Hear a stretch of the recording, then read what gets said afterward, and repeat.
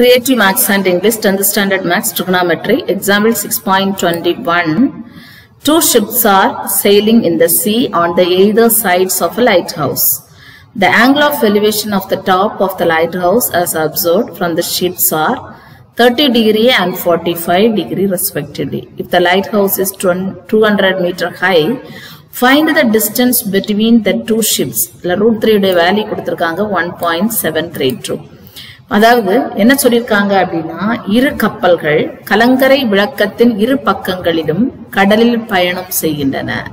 நல்லா பார்த்துக்கோங்க. இதுதான் இந்த லைட் ஹவுஸ் ஏபிங்கிறது லைட் ஹவுஸ் இந்த சி வந்து ஒரு பக்கமா இந்த இந்த ஷிப் வந்து இந்த பக்கமா போகுது. டி இன்னொரு ஷிப் வந்து இந்த பக்கமா போகுது. சரியா?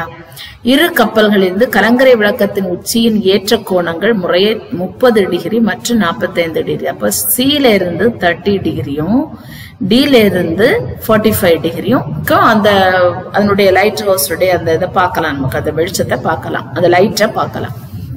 இரு கப்பல்களுக்கு இடையே உள்ள தொலைவு. அப்ப கேட்டிருக்கிறது இந்த சிடி நல்லா புரிஞ்சுக்கிடணும். புரிஞ்சாதான் நம்மளால இது செய்ய முடியும். கேட்டிருக்கிறது இந்த லென்த் அதாவது இதா இருக்கு இல்லையா? இந்த சிடி தான் அவங்க கேட்குறாங்க இது கேட்குறாங்க நமக்கு. இப்ப இந்த டி வந்து ஒரு ஷிப் இருக்கு. சில ஒரு ஷிப் இருக்கு. ஏபிங்கிறது லைட் ஹவுஸ் எல்லாம் எழுதியிருக்கோம் let AB be the lighthouse let C and D be the positions of two ships சியும் டியும் பொசிஷன் ஆஃப் டூ ஷிப்ஸ் சரியா? இப்போ ஏபி வந்து டூ ஹண்ட்ரட் மீட்டர் அந்த லைட் ஹவுஸுடைய ஹைட் வந்து two hundred metre angle A C B நமக்கு தெரியும் thirty degree பாருங்க. அதாவது இதை வந்து ஒரு ரைட் ஆங்கிளா நம்ம எடுத்துக்கிடலாம் இல்லையா? அதை நம்ம வரைஞ்சு பார்ப்போமா? இப்போ இந்த ஏபி இது ஏபிங்கிற லைன் அடுத்து சிடி இந்த லைன் அடுத்தாப்புல இந்த லைன் இவ்வளவும் பார்த்தீங்கன்னா ஒரு ரைட் ஆங்கிள் அதே போல இந்த பக்கம் இந்த ஏடிபியும் ஒரு ரைட் ஆங்கிள் ட்ரையாங்கிள் சரியா? இப்போ A D B equal to forty five degree so இப்போ ஃபர்ஸ்ட் ட்ரையாங்கிள் எடுக்கிறோம். இந்த ரைட் ஆங்கிள் ட்ரையாங்கிள் பிஏசி இப்போ பிஏசிங்கிறது இது பிஏசி பிஎஸ்சி இதில் நமக்கு அதையும் நம்ம என்ன கண்டுபிடிக்கணும் அப்படிங்கிறது பார்க்கணும் பாருங்க. இப்போ நம்ம கண்டுபிடிக்க வேண்டியது ஆக்சுவலா டிசியா சிடி நம்ம கண்டுபிடிக்கணும். இந்த லெந்த் கண்டுபிடிக்கணும். இந்த சிடி லெந்த கண்டுபிடிக்கணும். அப்போ ஃபர்ஸ்ட் உள்ள ஷிப்பு படி சிஏயை நம்ம கண்டுபிடிக்கலாம். ரெண்டாவது ஷிப் படி ஏடிஏ கண்டுபிடிச்சாச்சுன்னா நமக்கு வந்து அந்த லென்த் கிடைச்சிரும். ரெண்டையும் ஆட் பண்ணும்போது கிடைச்சிரும். அப்போ நான் இந்த சிஏயை நான் கண்டுபிடிக்கணும்னா இது வந்து ஆங்கிள் ஆங்கிளுடைய ஆப்போசிட் சைடு நல்லா கவனிங்க. இந்த ஆங்கிளுடைய ஆப்போசிட் சைடு இது. அட்ஜஸ்டன்ட் சைடு இது. நமக்கு ஹைப்போட்டனிஸ் தேவையே கிடையாது. ஸோ நமக்கு இது ஆப்போசிட் சைடு இது வந்து அட்ஜசன்ட் சைடு ஸோ அந்த ஆப்போசிட் சைடும் அட்ஜசன்ட் சைடும் வரணும்னா நமக்கு யார் வேணும்? டேன் தீட்டா வேணும் சரியா?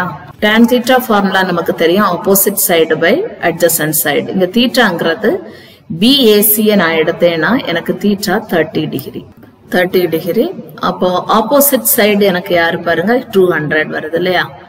டூ ஹண்ட்ரட் இது வந்து எனக்கு ஏசி ஏசி தானா? ஆமா எனக்கு ஏசி இப்போ தேர்ட்டி டிகிரியுடைய வேல்யூ டேன் தேர்ட்டி டிகிரியுடைய வேல்யூ நமக்கு வந்து one by root three tan thirty டிகிரிக்கு என்ன வரும்? ஒன் பை ரூட் த்ரீ அதாவது டென் தேர்ட்டி டிகிரியுடைய வேல்யூ நான் எழுதுறேன். One by root three that is equal to இது அப்படியே தானே வரும். டூ ஹண்ட்ரட் பை ஏசி இப்போ பழையபடி நம்ம என்ன செய்யறோம்னா கிராஸ் மல்டிப்ளிகேஷன் பண்றோம். இது இங்க வரும் இது இங்க வரும். அதாவது A C equal to A C equal to எழுதிடுவோமா நமக்கு? இப்ப எழுதும் போது நான் என்ன எழுதுவேன்? ஏசி இதை நான் மல்டிப்ளை பண்றேன். A C equal to two hundred into root three சரியா? இதை அப்படியே வச்சுக்குவோம். இனி அதே மாதிரி இந்த இந்த ரைட் ஆங்கிள் இப்ப நான் என்ன எடுக்கிறேன்னா ரைட் ஆங்கிள் பிஏடி எடுக்கிறேன். அதாவது இது எடுக்கிறேன். இந்த ரைட் ஆங்கிள் அது பண்ண இப்போ இதை நம்ம வரையும் போது நமக்கு என்ன கிடைக்கும் பாருங்க. பிஏடி பி ஏ இது?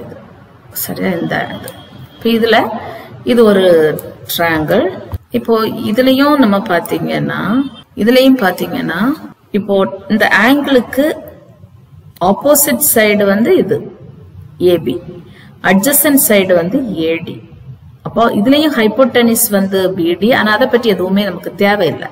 இப்போ நமக்கு ஆப்போசிட் சைடு ஏபி இது வந்து யாரு? அட்ஜசன்ட் சைடு சரியா? இப்போ இப்போ இதுதான் டேன் தீட்டா தான் இங்கேயும் எடுக்க வேண்டியிருக்கு.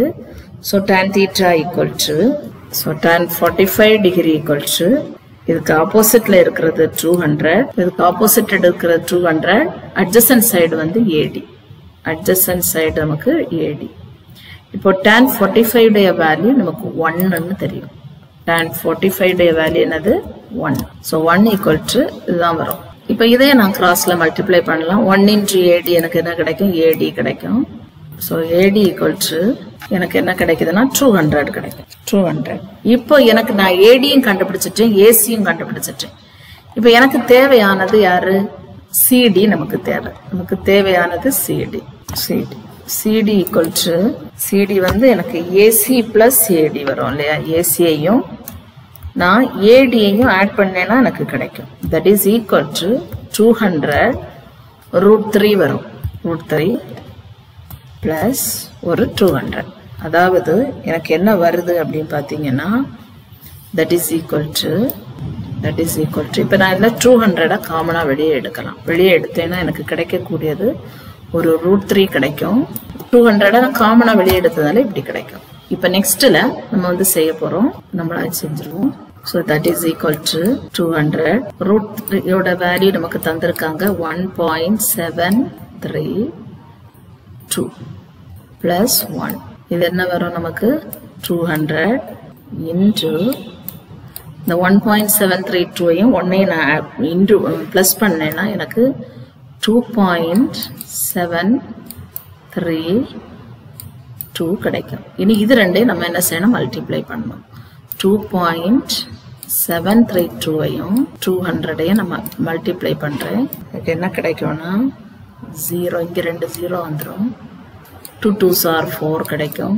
டூ த்ரீ சார் சிக்ஸ் கிடைக்கும். டூ செவன் சார் ஃபோர்டீன் கிடைக்கும். Reminder one two two are four plus one five இப்போ த்ரீ பிளேஸ் நான் வந்து வச்சேன்னா எனக்கு என்ன கிடைக்கணும் five hundred and forty six point four metre five hundred and forty six point four metre இதுதான் ரெண்டு ஷிப்புக்கும் இடையில உள்ள டிஸ்டன்ஸ் ரெண்டு ஷிப் இருக்கிறதுலே அந்த பிக்சர்ல பார்த்தா தெரியும்.